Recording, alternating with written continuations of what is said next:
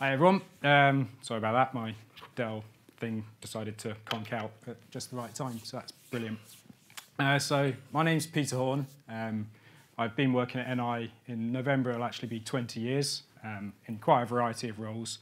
Um, but I wanted to rename this presentation slightly from building a standardized development process to trying to, because I, don't want to anyone to be any, any kind of illusion that I think this is finished, because it's not. In fact, we're just kind of in the, the early stages of trying to get it working and building it out. Um, I wanted to start off, though, as I was first on the agenda, just to say it's great to be back. It's been a few years since I've been able to make it to one of these events. I want to thank everyone who's been involved in organising for it. I'm trying to remain calm, or at least appear calm. Inside, I feel like this, though, so uh, we'll, we'll see how this goes. Hopefully good. Um, quick story about the Our Giants of Female. Um, my son, Alfie, over at the left there, I was talking to him about this the other night at, over dinner, and he basically said, can I choose who you talk about? So, yeah, sure, go for it. And Alfie loves space. Um, he and he chose this lady Vera Rubin, who was one of the sort of pioneering astronomers. She apparently, when she was a five-year-old child, she would look out of a window and start um, a bit older than five, I think, but started measuring kind of uh, the tracking the stars across and measuring their their sort of their movements in kind of making loads of notes about that and eventually discovered the fact that there must be something in between all those stars and that was dark matter that none of the other astronomers kind of wanted to admit was there, and they all basically said, no, you're a woman, you can't be right. Um, but she proved the fact that there was dark matter there, and that kind of upset the astronomy community because um, that meant they'd only been investigating about sort of a tiny fraction of the, uh, the universe that was out there. Um, so she got told when she was at school to basically ignore science, become an artist. And apparently when she was the first female astronomer at this observatory, um, there was no female toilet, so she stuck a skirt on one of the male toilets and said, now that's the female toilet. So, um, yeah, definitely fought a bit of kind of uh, adversity and uh, difficulty in her early career, but she's uh, certainly Alfie thought she was pretty great, and I think pretty awesome too. Um, so, in terms of what I wanted to actually talk about, I thought I'd start off with kind of what my the problem statement is within the group I work in at NI. Um, and some of the tools that, and techniques that we're using, um, that's what the automated acceptance testing section is about. I wanted to also just quickly mention why I avoid YAML in pipelines. Kind of a, a bit of a snippet. Um, I was going to call it why I hate YAML, but that's kind of possibly a bit unfair to YAML because it's not really YAML's fault, but I'll talk about that in a minute. So the problem statement, basically everything is changing. So I work in the transportation business unit NI in our um, CCS group or complex customer solutions. And primarily I focus on our ADAS replay platform. So if you go on ni.com, you can see this picture, which shows we've got an environmental server, which is basically a host PC, PXI chassis, and then bus interfaces over to the ECU. If you want to know more about the ADAS replay, I can talk about it, but that's not the focus of this presentation. But what I wanted to show here, though, is basically over on the right is the ECU. This is the DUT that the customer's supplying to us and asking us to build a test system to replay data into. Generally speaking, we're getting these projects and they're kind of time critical projects. The customer is trying to get ahead in the market and the ECU is kind of new to our new technology for them. So that is generally speaking under development and there'll be things like the outputs, maybe the the um, the the debug signals coming out from it aren't implemented at the project start, or maybe they, it doesn't accept the camera feed in some way at the project start. So generally speaking, that thing on the right, pretty much always under development. Um, probably partly led by the fact that the DUT is under development and this is a new technology or a new area for most of these customers. The customer requirements, they don't quite often I find know exactly what they want or they, those requirements are definitely not finalized or well defined. And so there's a lot of change there as well. The bit in the middle is the NI part. That is quite honestly, we there is a release now. We're no longer working on pre-release builds, but it is still being developed rapidly, and we're, there's new features being updated or added regularly. It's, um, so there's a lot of moving parts, is what I'm trying to say. I'm trying to build a standardized process on top of that, where we can get reuse from code modules or plugins into this um, application and try and gain some kind of efficiency. That's been pretty hard. So I'm trying to find ways of doing that, which is what I wanted to talk about today. Um, so the site slide line into why I avoid YAMLs, YAML in pipelines. So we use Azure DevOps. They use uh, they have this technology called pipelines, which is where it's similar to I think GitHub Actions and most of the CI tools have a similar capability where you can trigger a pipeline to run based on something like a, either a schedule or a pull request being merged into a branch or pushed to a branch. There's lots of different ways that you can trigger it and then run some number of actions such as run all my unit tests, run VI Analyzer, um, run build specifications, whatever you want to do. If you can write a piece of code to do it, you can probably run it through a, a pipeline. The problem we've got though is that there's no Azure DevOps plugin for LabVIEW, so I can't just say to in my pipeline, call this bit of LabVIEW code and run it. I can do it via some other technology. So the first technology that uh, we tried working with was basically PowerShell scripts. So this is an example of a PowerShell script from one of our pipelines. Does anyone want to hazard a guess at what it does? No? Probably not. It's, um, so essentially, this is based up the sort of most of the way down the, the brackets in the middle, it says LabVIEW CLI, and then it basically running VI um, Caraya unit tests, which are in this run tests in folder VI, and running, uh, running that on a set of projects in, the, uh, in, a, in a set of folders. So that, and that's, that's fine, it works. The problem that I had with this was, first of all, that's difficult to debug in that you can't run that YAML pipeline other than by just running the YAML pipeline. I can't just click on it and say run this test within the, or run this stage or job within the YAML pipeline. Um, I have to run the pipeline, which probably comes with a whole heap of other things that it's trying to run. The other problem is that it's just technology or tools that most people, or certainly the team that I've been working in and I don't really know that well. So it kind of works. The step that we took to try and make it a bit easier was just above where we're actually running the command, we put the same command with a right host in front of it, which means that it prints it out to the console so that if there's a problem, that, gets, that line gets printed out to the console. I can copy and paste it into a command prompt and try running it there, see what the issue is. Which works, but it wasn't ideal. So as I say, this uh, running PowerShell scripts directly in the YAML is not ideal. There are ways around it. I could have saved the PowerShell scripts as PS files and then called those PS files in the, in the pipeline, which would have been one way. Um, another approach that I tried out was essentially to wrap my LabVIEW code into a Python node, uh, or a set of Python code, and the Python code would call LabVIEW either via LabVIEW CLI or gCLI, and then run that section of LabVIEW code. And that worked, adds a bit of complexity and adds add layers of different tools. But the advantage there was I could just get that Python file, open up a command prompt or, or just um, Visual Studio Code and run that Python file. And it would run my LabVIEW code and effectively I could run the step and debug whatever was going on in the step separately. Um, so that's definitely good, but adds a bit of kind of, in my view, kind of needless complexity, or not needless, but um, extra complexity that I don't necessarily want.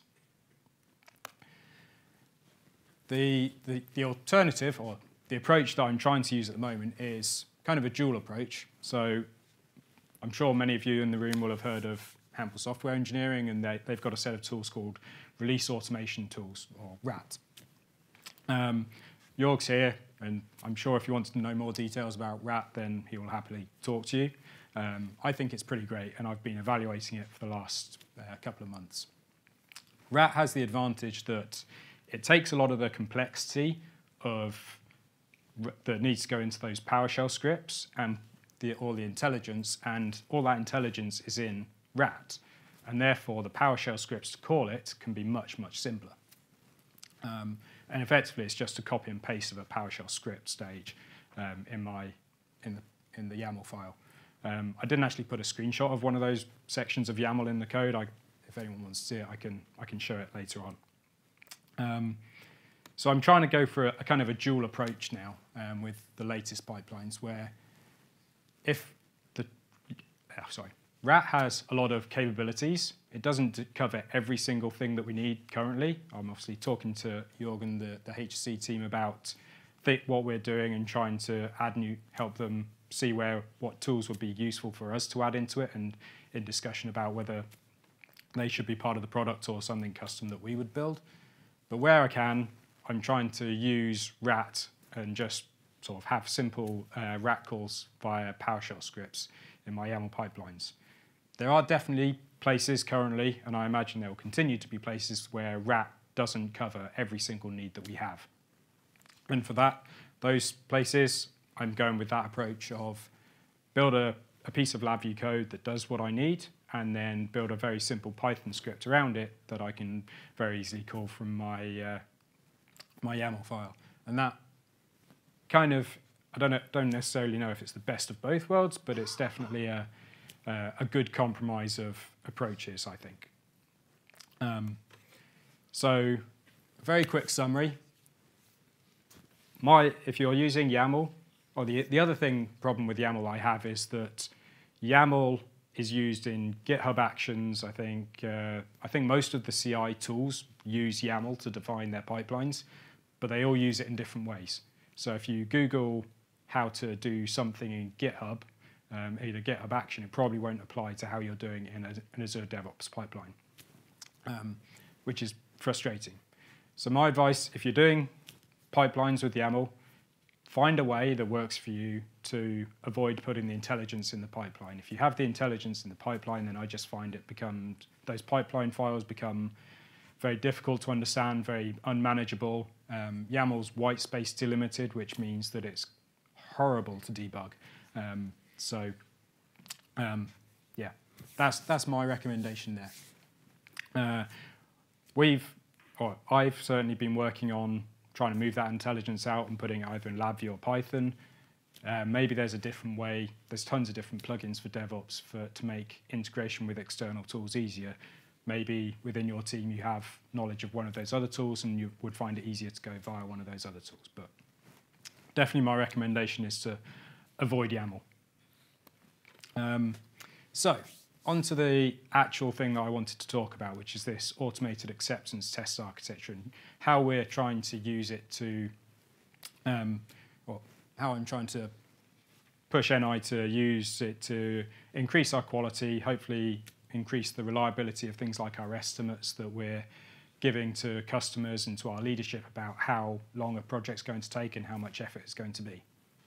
Um, so I read this book by Dave Farley. Um, it's, it's quite a thin book, and I thought it was very, very good. Um, one of the things that it said in it was that if you're building any system and you're delivering that to a customer, you should obviously have acceptance test criteria that you need to meet. So for an ADAS replay system, that may be something like you have to, the system must stream eight camera streams at 30 frames per second with a certain resolution and a certain frame rate. Um, must log all the CAN data and must not fall over for an hour or something like that. So you, you have some very defined test routines that you can say this either passes or fails. And then you if you can get those test criteria set kind of in concrete at the start of the project, then you can build a set of VIs or Caraya tests in this case to effectively test those. And the idea behind this is that you should be able to say, once all those tests pass, there is no further work on the project. You don't need to then build it and give that delivery to a customer. You should build it and do these tests on the actual build.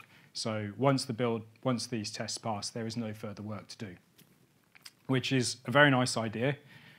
and I've been trying to kind of promote that within NI. There's been a lot of thought of that won't really work in our situation and stuff, which I think it's exactly what should work in our situation because if our system's not repeatable, then it's no use to the customer.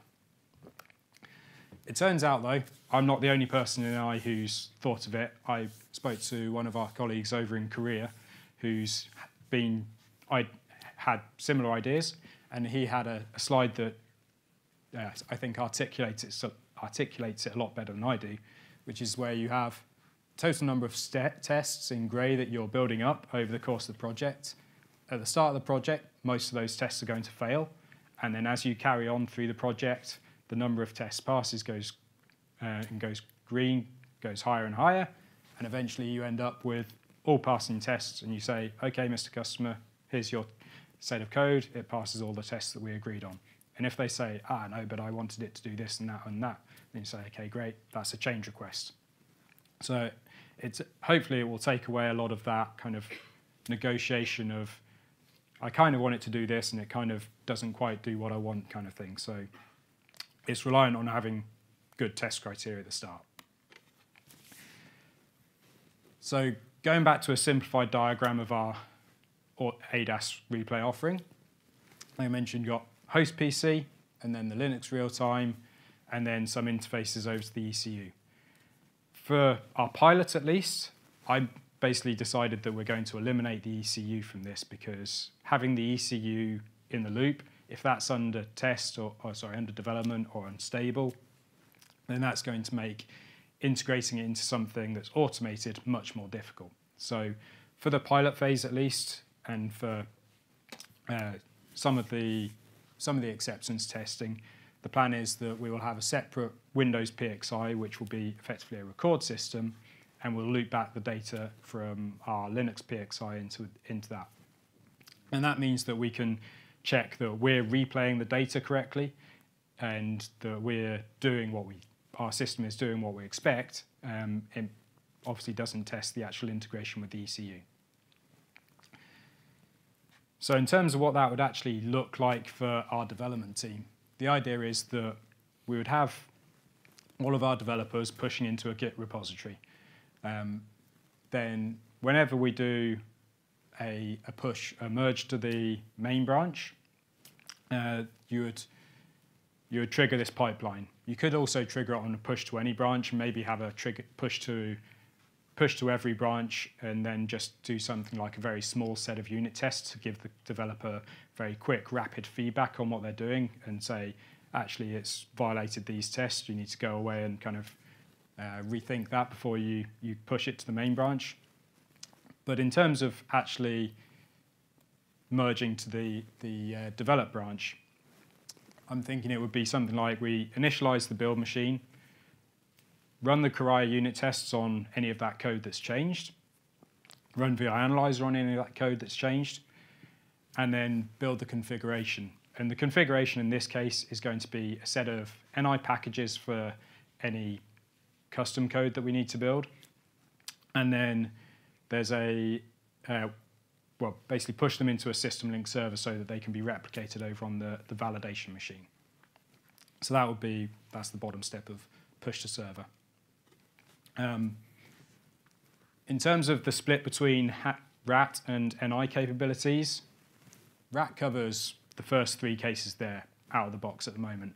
The build configuration, because we need to build NI packages and push them to a system link server, I'm, I have not worked out yet if that's if I can do that through RAT. I, I probably need to talk to Jorg a bit more about that. But I've got some uh, some bits of code that can do a lot of it. So I, I, will figure out how to make that work over the next few weeks, but it's that's still in development. And then you need to have some tracking of what builds have been published and what state they're in. So things like uh, if, it, if a build is then given to a customer, you want to make sure that you keep that build and you mark it as tested and part, it's passed all its tested tests in a database somewhere so that you know what the um, what builds have gone out to the customer and obviously track the version numbers. So that, those builds from this pipeline on the left would all be pushed into the up onto the server somewhere. and have a and yeah be stored there. Then we've got this set of tools called cats, and it's not accept uh, it's not escaped my attention that I'm trying to make cats and rat work nicely together, but yeah. So there we are. Some of these things just happen sometimes. Cats is a set of internal tools that we've built recently internally, or my, the NI R&D team have built recently, which is essentially using System Link Server to uh, deploy and configure an ADAS replay system. So we'll talk to the environmental server or the host PC and the Linux PC, uh, PXI, sorry, and it will deploy all of the System Link packages, uh, sorry, the NI packages on there. So using cats to configure the system with whatever the latest build is. Um, one small point here, you don't want to do all of this testing on every build that comes out of that. Um, every time you merge to the main branch, that triggers a, a build of the a new build. If you try and run all of this testing on every time you build, then you're just going to end up with a backlog of those builds. It's far better to schedule this pipeline on the right here to run every day or every other day or something and just grab the latest build. So we grab the latest build, configure the test system, then run our acceptance tests. These are just going to be unit tests written in Caraya. They'll be very big unit tests probably. They'll do things like spin up the ADAS replay application, configure all of the host plugins or host executables via gRPC, configure everything on the Linux via gRPC, run the scenario, maybe it runs for an hour or so, capture all the data and come out with a pass-fail result of is all my data synchronized. Um, so they will be big unit tests, but they are just unit tests with a definitive pass-fail result at the end. And then DevOps has some quite nice tooling that you can generate an, uh, a JUnit file from Caraya, and then there's a step called publish uh, test results, which means you can just publish or you just get a nice dashboard of the test results. Um, actually, I've, I've spoken about most of this already. So, what I just said. Um, so this is the dashboard here. Um, so you can see there we've got a test pass rate of 100% in the middle, pipeline pass rate. Apparently, I think that's probably when I was developing that particular pipeline, it failed a few times and then you get some stats out about sort of the pipeline duration. Essentially, though, what I'd be looking for is that the test pass rate gets up to 100%. Once you have all of your tests implemented for the customer acceptance and they're all passing, then you can say to the customer, here you go, the tests have all passed. Um, now we, the, the project's delivered. So just a final point about the kind of the end goal and how I plan to try and scale this up. Um, talking to the NI kind of leadership, um, I'm unlikely to be able to get sort of budget to have one of these test systems per project. Um, they obviously want to try and have some kind of benefit of scale of the fact that we have lots of different projects, and and that absolutely makes sense. So I'm thinking we'd have something like a number of different projects, and they would all have different criteria that they would be using. So maybe project one is using 1.2 release and is, has got GMSL2 cameras, maybe other projects. I forgot to change the project numbers in these um, boxes here. I just noticed that. Um, so project, another project maybe has FPD link. So they would all push to the to their um, develop branches, and then in the cloud on a, a VM that would be hosted on our server somewhere, we would do that initial um, unit test, VI analyzer, merge it into the main branch and, and build the uh, build configuration. That build configuration would be put on a, a server somewhere, and then we'd have hopefully some farm of different uh, validation systems with different capabilities. And then within DevOps, you can set up different the capabilities as requirements. So you can say this build, this PXI system, or this this build it has this version of the software on, maybe has an FPD link card and a GMSL card. This other one has a GM, just a GMSL card. And then within your pipeline, you define what the requirements of the, um, on the, the, for the validation system, you define what requirements are needed. and then effectively we would schedule each project to have a, maybe a four-hour slot on each of, on the right build machine. So uh, for this bottom project, at two o'clock in the morning every day, it would grab whatever the latest build output is and run the VI, uh, the, the acceptance testing on whatever the right machine is. I put a dotted line in here just because I thought there may be some scenarios where we may want to parallelize it. So if, in this case, if we had GMSL2 and FPD Link 3 on the project, may, maybe FPD Link was a, a later addition, then you could scale up the testing and instead of just running it on one machine, you could run it on two machines at the same time. So that's uh, pretty much everything I, I, wanted to talk about. Um, so just a quick summary. If you're build, using YAML to build pipelines, find a way that works for you to remove as much of that intelligence from YAML as possible and keep the YAML simple, just because I personally certainly find YAML difficult to debug and uh, there are much easier ways of getting LabVIEW testing to work inside YAML. Um, automated acceptance testing, I think, is possible for certainly what we're doing in our team. We need to make sure that our acceptance criteria are well defined up front so that we can write VIs that uh, pass or fail against those tests or those test criteria. Um, again, sharing hardware between projects is possible. Um, that's one area that I think needs quite a lot of thought on this because if you if you try and share hardware in the wrong way, then it just makes the whole thing more complex and kind of more brittle and more likely to fail. And if this starts falling over and failing and being unreliable, then we're not going to get the benefit from it and the teams won't want to use it. And then we're absolutely on the first stages of building this out. So uh, we're reusing some existing tools with the NI cats and uh, rat, and as I say, trying to make them play nicely together in this case. So that's uh, everything that I want to talk about. I will open it up for questions then.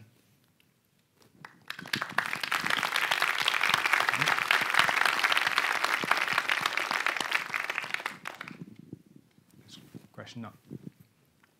Just. Uh, thank you very much for that talk. It was really uh, useful and quite interesting. Um, I was just wondering, in here you've talked quite a lot about using uh, Azure DevOps. Mm-hmm. I was wondering why you choose that over another option like Jenkins or I think GitLab's another alternative. Like, what's the thought process behind that, please? Uh, so, honestly, I, I, didn't choose DevOps. It's the tool that NI has standardized on for our internal development now. Um, everything that I've talked about here could be done, I'm pretty sure, through GitLab, CI, or Jenkins any of those CI platforms could do it. Um, so I don't think anything is DevOps specific. Okay, thank you very much. Okay. Is there any other? Can't see anyone. Oh no, Nancy. so Pete, a key piece of that was the Caraya and the use of mm-hmm. Caraya and how you structured it. So, do you have another presentation lurking somewhere, past, present, or future, um, on how you guys are using Caraya? I, I don't have one written. I, I can definitely make one. Um, Great. NI Connect, you're signed up. said the wrong thing there, didn't I?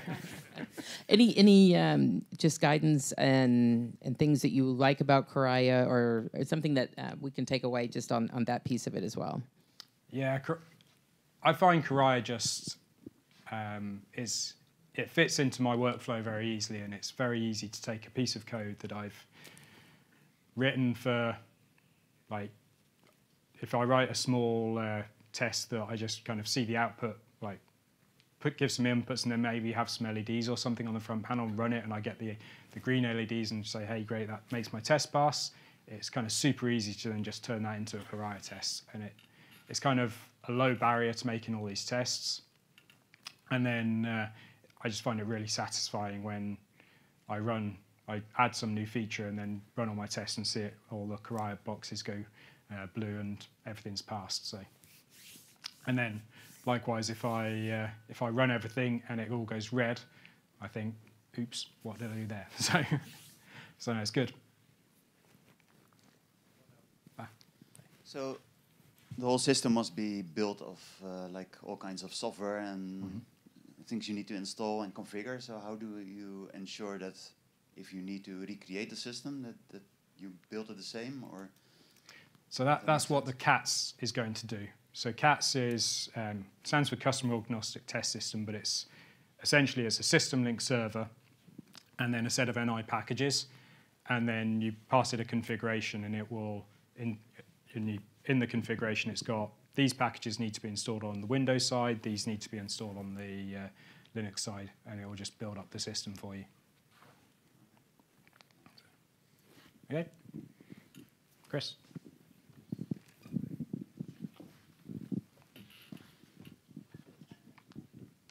Firstly, firstly, really nice work. Thanks. So, what do the build artifacts look like? the build artifacts. Um, so the, I think, honestly, that's still a work in progress. I haven't actually got that far with it yet. This is, like I say, still under development. The configuration, so all of the packages need to be on the SystemLink server. So if the if we're using some of the off-the-shelf plugins that R&D have built, then they will already be on the SystemLink server, and I just need to pass the configuration file, which is basically just a JSON configuration. Um, if we're building something like some host executables or custom plugins, then I'll need to build those into packages and put them up on the SystemLink server as well. Okay, um, last question. I just wondered if there were any special um, considerations when it came to the configuration involving multiple packages, potentially of different versions of NIPM underlying that. Versions of NIPM or yeah, yeah, and the packages that you're using within your configuration. So my, I think the um, like the, the version number of the packages would be part of that configuration. So we would obviously say we're we're on ADAS Replay 1.2 and this package version and so on. Um, I've kind of assumed we would just aim, always aim to be on the latest version of NI Package Manager, but haven't 100% tested everything there yet. Okay, thanks. Okay. Okay. Sure. Uh, in terms of uh, the hardware setup, uh, do you have a dedicated setup or how it is uh, set up for the unit testing as a whole? So the yeah, there's a these. Oh, hang on, my that's gone.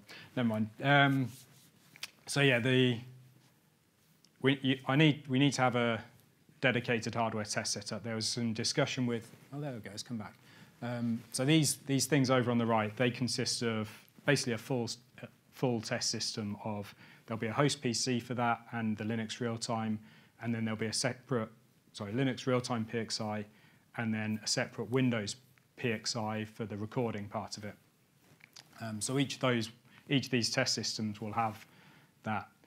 There was some discussion with leadership of can I just reuse the test system that we're doing the development on and basically schedule these builds to happen at a time when the uh, the developers won't be working on it, which is kind of a nice idea, but I just know that we would end up in a situation where this had either left it in some state that meant the developers got annoyed with it in the morning, or the other way around where the, the developers left it in some state that meant cats couldn't talk to it or something. So we're, we're aiming to have a farm of these that we can ship these builds to and share them between multiple projects and just schedule the time on them accordingly. Does that answer the question? Uh, yeah, yeah. Basically, it's uh, the same setup which is shared between the developers and the test setup as well. Yeah. Oh, well, so these are dedicated setups for the validation test, but it's a replica of the test setup that we would have for Yeah. the developers. Thanks. Okay? Awesome. Thanks, Pete. No worries. Thank you.